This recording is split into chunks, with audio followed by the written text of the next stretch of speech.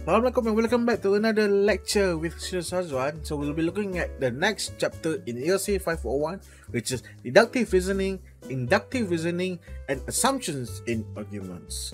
So reasoning uh, there are two different types of reasonings as well as there are assumptions in argument. So we will, we will be looking at the different uh, those two types of reasoning, what made up of them, how to do them, as well as how to identify assumptions in argument. So without uh, further ado, let's move into the lecture. Okay, learning outcomes. So by the end of this chapter, you should be able to identify arguments. What are arguments? So we will identify them, we'll define what are arguments. Identify deductive reasoning in arguments, how you can find out which one is deductive, which one is inductive. Okay, identify deductive reasoning. As well as identify assumptions in arguments. So there are some clues and tips and tricks for you to uh, that for you which will able to help help you understand which one is which and how you can use them in your own critical reading uh, critical reading. Right so arguments. An argument consists of statements which form the premise or premises and a conclusion so it, it is made up of two those two things. So an argument is made up of a premise or premises and then conclusion. So we'll be looking at what are premises and then what is the conclusion. So how do you identify statements? So you need to remember that statements and non-statements they are two very different things. So whatever you say, it can be a statement and then it can be a non-statement. So for example of a statement, so open burning during the dry season is the main cause of haze. So that is a statement. As well as the second one, it is difficult to identify the real culprit. So that is statement, something that you say, something that you inform others. So those are called statements. For non-statements, they are something that are not well it's that it's really self-explanatory. So it's not a statement. For example the example here come here. Come here is a command. It's not a statement. Okay? And wow that's wonderful. It's an exclamation. You are shocked. You are uh, surprised. So that is an exclamation so remember, not all sentences are statements. You need to identify which one is which based on the sentence structure of the uh, text. Okay. Uh, other examples can be you should exercise extreme caution when you deal with explosive. In some countries, dog-related health offenses are punishable by death. It's better to be late uh, than never. In the left part of the table, those are statements, whereas in the right part of the table, those are non-statements, which can be a greeting, instruction, proposal, a question, a request, and suggestions. So those try to remember whenever they have certain functions in uh, in that sentence. Whenever you want to do, there is a certain function that you when you use that sentence, you want to achieve something with that so it becomes a non-statement. Whenever you want to greet someone, it is a non-statement. Good morning, that is a non-statement. So when you want to instruct someone, take the first turn on your right. That is not a statement. That is an instruction. Okay? So you, you need to be able to identify premises. So what are premises? A premise is a statement which provides specific examples, reasons, cases, or other details that support, prove, or explain a conclusion. Okay. So premises may be introduced using uh, premise indicators. When we talk about premise, it means that something that you want to help explain uh, the conclusion. Okay, the conclusion is what you can, like what we mentioned in the previous lecture. Conclusion is something that you uh, talk after at the end of the uh, when you read something at the end, you come up with a conclusion based on the facts that have been given. So, when you want to come up with the facts, you need to refer to the premises, uh, to the, the ideas, which are called the premises. Alright. So, are, these are some of the indicators that you can use to identify whether it is a premise or not. Okay. So, for example, they have since, for, seeing that, in view of, as indicated by, considering that, given that, judging from, because, in as much as, on account of, this is implied by, so those are, are premises. Okay, premises indicators. Whenever you use this, or whenever you find this, you can uh you can directly say that okay, this might be a premise. Okay. So identifying conclusions. A conclusion is the main point of a passage or a text. Okay, it's almost similar to the previous lecture.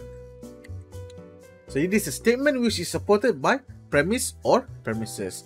Each uh, passage they will always have one conclusion and will be able uh, is made up of one or several premises. Okay, so conclusions may be introduced using conclusion indicators.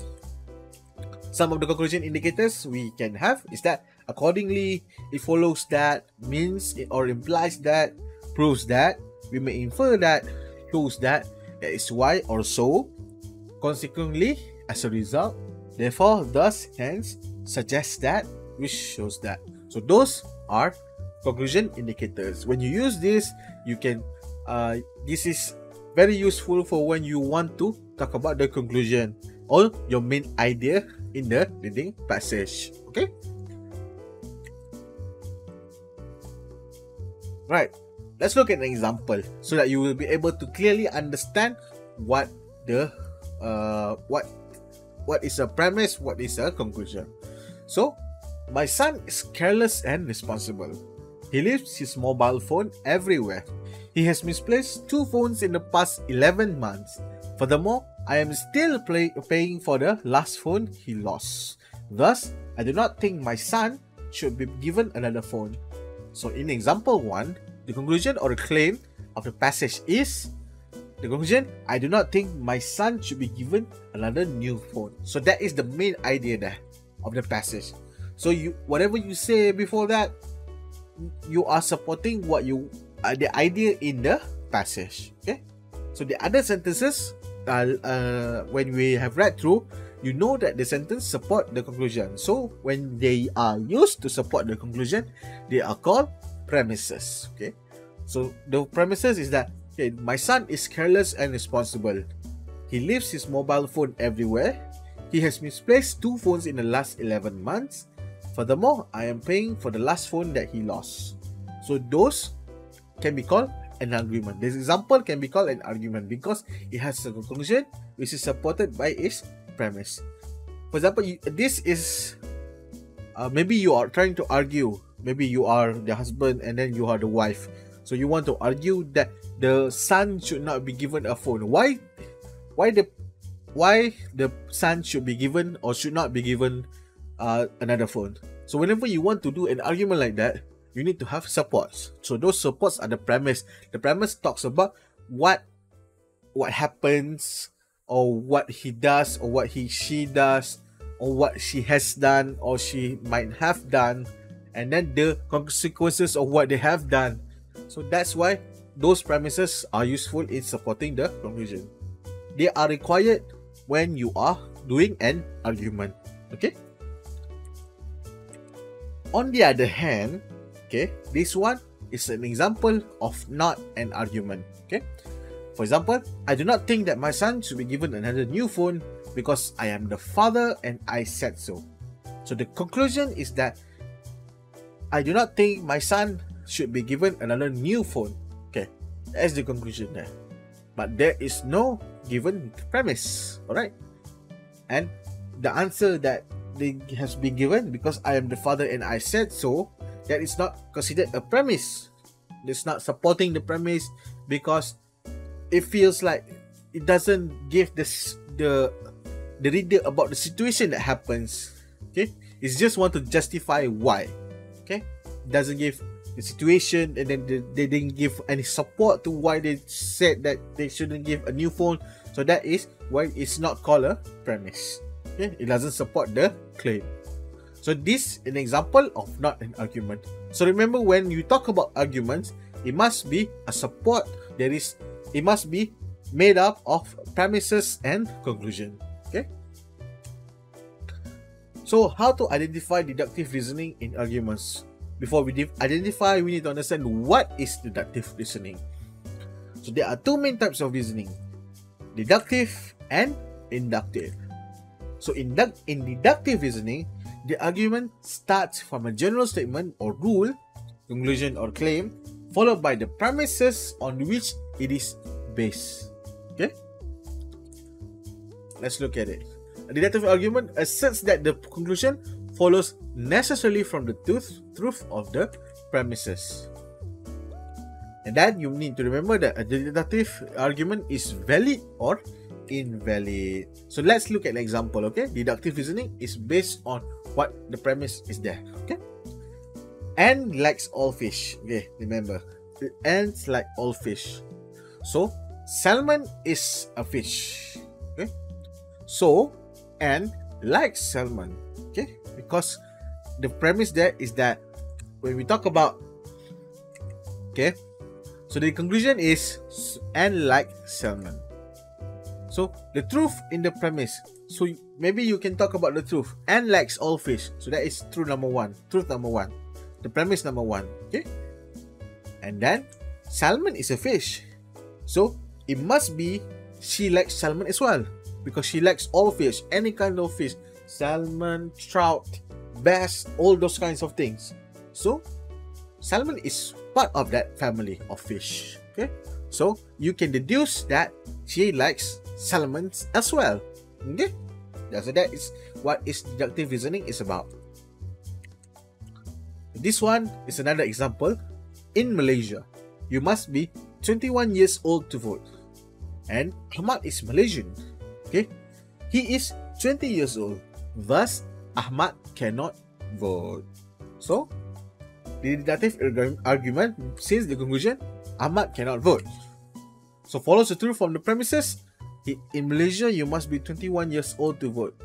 Ahmad is Malaysian. He is 20 years old. Let me try to explain this. So the conclusion is that he cannot vote. Okay, let's look at the premises. So you know, in Malaysia, you must be 21 years old to vote. Okay, that is true number one. That is the truth. Okay? Second one, Ahmad is Malaysian. Yes, it can be considered a truth. So that is considered.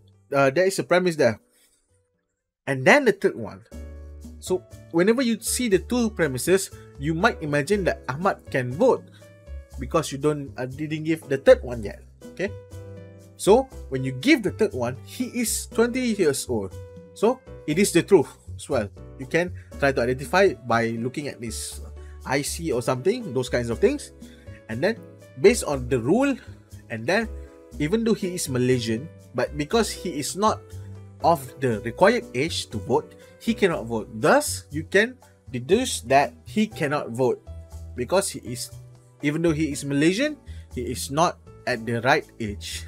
So that is how you come up with deductive reasoning, okay, based on the uh, premises given, right? The truth of the premises, okay, it must be valid or invalid. So inductive reasoning, on the other hand, the premise is to aim is the premises aim to establish or increase the possibility of its conclusion. Okay. A conclusion derived from inductive reasoning provides an argument which is considered to be strong or weak. So in inductive reasoning, it must be based directly on the truth. Okay. It's all the truth that has been given. Inductive reasoning only attempts to conclude from probability. So it means that it can be the truth and it might not be the truth. Okay? So let's look let's look at an example. Ahmad is tall. His brother is tall. His sister is tall.